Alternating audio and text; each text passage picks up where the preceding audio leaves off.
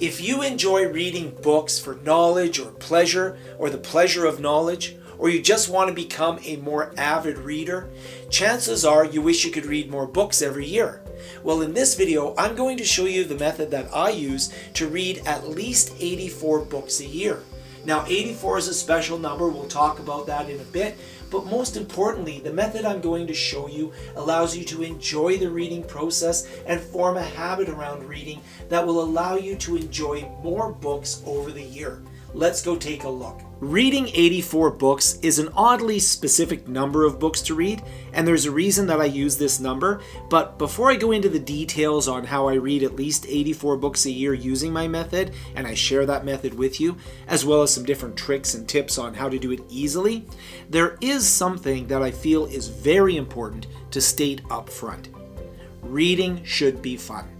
Reading should be enjoyable. It doesn't matter how much you read if it's just some sort of way to reach some arbitrary number 12 books a year, 100 books a year, whatever it might be. Whether you read one book or 100 books this year, it should be something you get personal value from doing. This video isn't about a book reading marathon to read just for the sake of reaching some arbitrary number, whether it's 12 books or 100 books or whatever the number may be. It's about reading with a more purposeful, pleasurable intent, but also reading more so that you can experience more. With that out of the way, I also do think that most people who read do wish that they could read more, and that people who don't read very much wish that they did read more. Why? Because reading has many proven benefits. There's the development of a perspective, knowledge of the world, empathy with others, exercising your imagination, improving your ability to communicate with others, improving relaxation in your mental state, building critical thinking skills, and the ability to concentrate. There are so many benefits that it's no wonder people want to read more. Here's how I've created a system to do just that. 84 might seem like an oddly specific in terms of the number of books to read in a year, but for those of you with a little bit of mathematical background, you may have already started to analyze that number a bit. 84 is equal to 7 times 12, which in the case of reading would be 7 books read each month of the year. 7 itself is also an interesting number because that's how many days there are in a week, and that's the heart of my reading system. Any system that's intended to create change is something that should involve incremental work towards an end goal. Trying to power through 84 books in a year would actually be quite hard. Breaking that into 7 books a month, it's also hard, but maybe a little less intimidating. Setting a goal to read just 60 minutes a day, now that would be much easier to commit to, especially if we break it down to a morning and an evening reading session you know, reading 60 minutes a day would be about 75 pages for the average reader, which would allow you to read seven books of about 300 pages each in a month, or 84 books a year. This might seem like a lot when you look at the large number, but I have some tricks that I'll share with you on how to make it even easier to read that 75 pages a day, so stick around for those tips at the end of the system that I'm going to introduce you to. If you're fortunate to discover a book that you absolutely love, then the old saying, I couldn't put it down, becomes true. You finish it in a short time period because you take every opportunity to read it. It takes a hold of you. You can't stop reading it. Now, in my experience, this does happen with some magical and special books, but most often this doesn't happen 84 times in a row.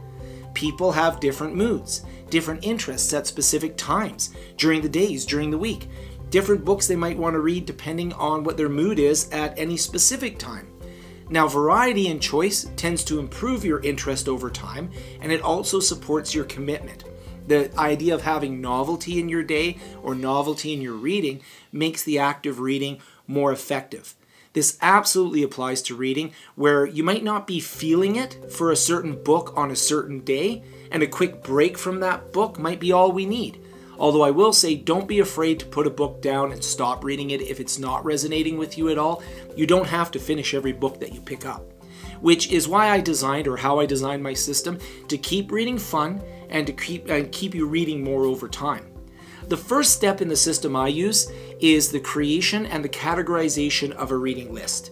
So, what I'll do is I'll create seven high level topics, subjects, or genres that I'm interested in reading for, say, the next 12 to 16 weeks. Whether it's fiction or nonfiction, I'll create a list of books that I'd like to read and then categorize this reading list into seven distinct groups. As a personal example, I like things like literature, classic and modern, I like science fiction, I like science books, I like nature and outdoor adventure books, I like data and technology books. I like education and learning books, and I like business and creativity books. While these categories are not exhaustive of all my interests, they are distinct enough to accommodate variety in my reading, and they're broad enough to allow me to discover new books as they arrive.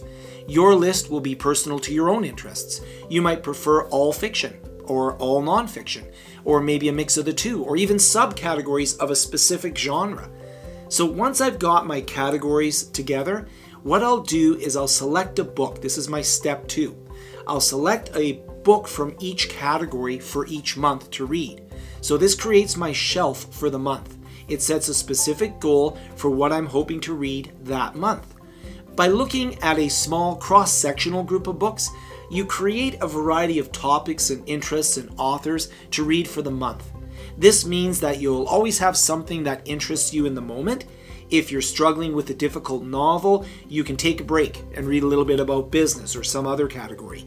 This means that you can switch modes, but you're still developing consistency in your daily reading. Personally, I like to read for about 30 or so minutes in the morning and 30 or so minutes in the evening. And then I'll also have little 15 minute reading breaks throughout the day if possible. The goal here is to try and read 75 pages per day on average with at least 25 pages on any given day. Usually there's some days where we'll be a little bit too busy, so you won't get as much reading in, and maybe there'll be some days where you can read more than 75 pages.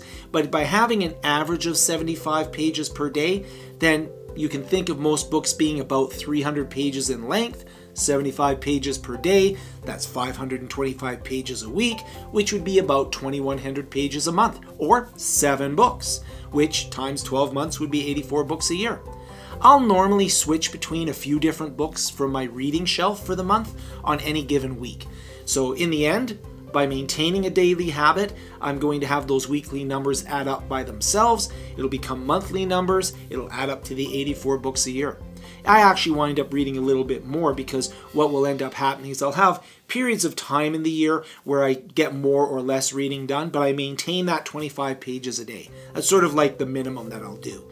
That's really how simple my system is, but there are some challenges and some tricks that you can use to make it work more effectively and to keep you on track. Trick number one plan ahead. I start the year with 14 books, two months worth of books, that I want to read and they're ready to go. There's two from each category that I've defined, and with some categories, I might even have a few months of books planned out. For example, if I want to read an entire series of books by a certain author or on a certain genre. So that's a trick. Have those books available, have that first two months worth of books available. Trick number two allow for discovery and recommendations. Well, I do try to pick 8 to 10 books from each category that I want to read in advance maybe they're books I want to read or reread, there is a thrill to discovering new books at your local bookstore or through friends' recommendations. A great way to add variety and excitement to your reading is to add some books from the different lists of books that others have produced. I, for example, always try to read at least one book that won a Canadian Book Award because I'm up here in Canada, or I like to read a book every year from a Pulitzer Prize winning author. I always want to read anywhere from three to five classic novels every year just to read some of the fiction from the past. I have uh, there's lots of different lists out there, people that I follow online, and you can get recommendations from them as well. Let me know in the comments actually if you'd like to see a list of my favorite educational books. I have a lot of books on education and learning. So I should say that the 84 books I read will include some books for work, but I also do a lot of reading for work. So I actually read a lot more than 84 books a year. But, anyways, but if you are interested in books on education and learning specifically, you can comment down below. You can also subscribe if you haven't yet. I'm thinking of doing some educational book reviews over the next year. Let me know below again if you think that's a good idea. Anyways, onwards to trick number three. 300 page books are just the average. In my own system, I plan to read about 25 to 50 pages in the morning and 25 to 50 pages in the evening, with 75 being the average. Now, I don't want this to become mechanical. It does fluctuate a great deal depending on different obligations and interests that I have at any given time. Some books are larger than others. However, keeping these numbers in mind as a general rule allows me to adjust as I go along. So, for example, if I get a 600 page book, then I know that I'm going to need to maybe select three other books that are about 200 pages each in order to keep those averages aligned. Trick number four graphic novels are your friend. If I'm getting a little off track on my reading objectives, then I might want to select a couple of graphic novels to read. Generally, these can be read very quickly, and I get a sense of completion from finishing them. They're also something I happen to really enjoy, so there's that too. But today there are graphic novels across a wide variety of topics, and you're sure to find something that will interest you. Trick number five audiobooks are also your friend. This is sometimes argued, but I think that audiobooks are a completely viable way to read different books, especially novels. In some cases, I find listening to the audiobook even more enjoyable than reading the physical book or the printed book. For example, I remember listening to an audiobook called The Know It All, and it was hilarious. The narration was fantastic. It was a really good listen slash read. The nice thing about the audiobooks is that you can play them and you can listen to them while doing other things, like walking into work or driving because I don't recommend reading printed books while you're driving. Stay safe out there. But the audiobooks, you can change the speed that you listen to them at. You can get some really great narration that really emphasizes it. I tend to prefer them for novels as opposed to anything else just because of the nature of my note taking systems and such. You know, I find it hard to, you know, necessarily take a lot of notes on, say, a business book while I'm listening to it, but you, there are mechanisms to do that. That's beyond the subject here. But the idea is that the audiobook is a great way, for me at least, to listen to different novels in a unique way. I'll even listen to them sometimes when I'm going to sleep. You can put a sleep timer on them. So, tip five Audible books are your friends. Trick number six track your reading. This is something I recommend, but I'm admittedly working at getting better on it personally. Keeping a list of all the books you're reading can have a great motivational effect, especially if you are sharing your results with others. For example, uh, you reading together is the genesis of a book club, but there's things like using the Goodreads app or website to track your reading, books you want to read, books that you are reading. And if you share that profile with your friends, then you can not only get book recommendations, but you also can go in and have sort of a accountability that's added to your reading goals for the year. Trick number seven, use technology. Now, this wouldn't be the Learning and Technology with Frank YouTube channel if I didn't promote how technology can help us over time, I'm really getting more into using things like a Kindle e reader or I'm using things like Kindle or iBooks on my iPad. I just find that having electronic books makes them incredibly portable, make them super accessible. I can switch between different books quite quickly. I don't have to carry a lot of books with me. And I really like the note taking features, especially for a lot of my nonfiction books here. And I can review those notes and I can enjoy sort of revisiting the material. I'm also a big fan of being able to quickly search for, say, a word definition. If I encounter a word that I'm not familiar with, I can build my vocabulary quick vocabulary apparently not my enunciation but i can i can build my vocabulary quite a bit by just hitting definition of it or maybe there's something in a book that references a historical event then what i can do is i can do a search to understand more of what i'm reading now, there is a caution though. If you read your ebooks on a device, for example, an iPad that has other apps or potential distractions, then you might have to exercise a bit more discipline to make sure that you read that, you know, 25, 50, 75 pages that you're going to read every day. I do really like the Kindle portable devices because it's a focused experience. You're really, the only choice you have is reading and you also do get the word lookup so you can do definitions but you don't get as much as say if you want to look up a historical event or something by breaking things down from a year to a month to a week to a day and building variety into your reading and using the tricks I've shared here, you might find yourself reading even more than 84 books a year. I'd love to hear your thoughts and ideas on this. How many books are you typically reading in a year? Would you like to read more? Are you happy with what you're reading right now? Do you read every day? Is it has it become a daily habit for you? Do you read more than one book at once? Do you read ebooks or do you listen to audiobooks? Do you read graphic novels? Thank you so much for watching. I'm very interested in your comments, and I hope we can have a good dialogue in the comments section below on what it takes to read more and benefit more from that reading.